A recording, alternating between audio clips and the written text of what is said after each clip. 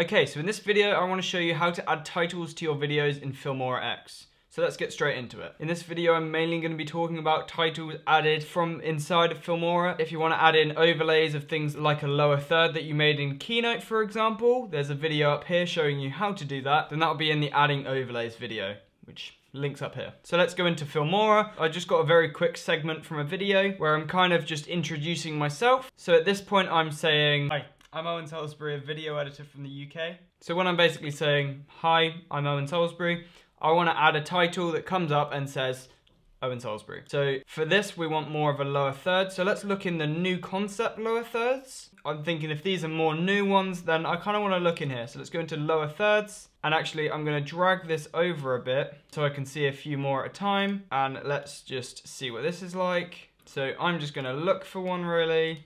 Let's look at this. That's more of a quote one.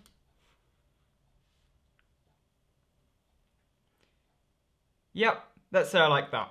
So now I'm just gonna drag this into my timeline, just over my clip. I'm gonna double click on it. Now it's gonna give me some more options of basically what I can do. So I'm gonna change your text here to my name and I'm going to change the font to one that I use quite often. So there we go, we've got it in all capitals, and this is just kind of how I want it to be. I don't like the position of it necessarily, so I'm going to bring this back so that this fills my screen a bit more, and let's just drag this over. I'm to nudge it up because it's knocked it off center. I'm not necessarily going to play around with the scale of it as much because this is just really touching the text. You can also change the size of it all in general. So maybe I want it to be a little bit smaller. So we can go into scale, bring this down, bring it down in the position as well, just like you would in any other video. And if you don't know how to do this, then I've got a video on it up here. So now we can come back to our text. We can also play around with the animation. So maybe we want something like the cinema style.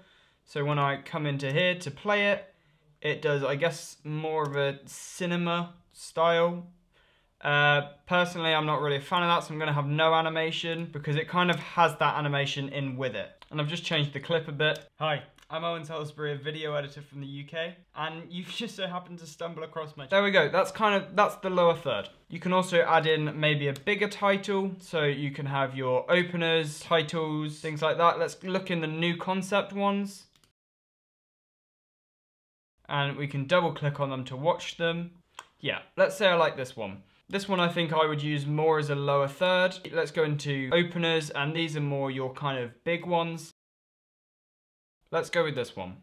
Drag it on and now let's double click on it to edit it. Change this, I'm just gonna put my name again and change the font. There we go, that's the kind of font we want with it. You can do the same animation things. And yeah, so that's really them kind of titles. You can also just kind of make your own one by, let's say we just drop this one in and then go into advanced you can add more text, shapes, images, that kind of thing. And you've got this little timeline, which again, you can really just bring this out and have a play around with it. For me, I'm selected on text, so I've got all of my text things. There's some preset stuff. Uh, personally, I think I would use this more if I was just trying to get an idea of what I wanted to have. So let's say I liked this kind of one, but I wasn't a fan of the color. I can go in here, this is a gradient fill, so you can see that this is white and this is this blue. So maybe we want that to be blue to pink. You can change that in there. I wouldn't really use this that much, but this is some of the stuff you can do. You can add a border and then a shadow,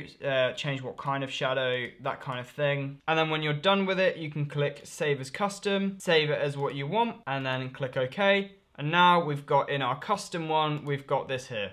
Personally, I'm not really a fan of this and I would much prefer to make it more in something like Keynote or Motion or something and then bring it in, which I'll make a video on and it'll be up here. If you want to learn how to make a lower third like this in Keynote, then there's a link up here to do that. And if you want to learn how to make a subscribe animation in Keynote, there's also a link up here. I'll add links in the description to these videos and also the video on how to bring in an external title into Filmora. So thank you for watching this. If you enjoyed this, please give it a like. And if you want to see more content like this from then consider subscribing. So thank you for watching and I'll see you next time. Bye.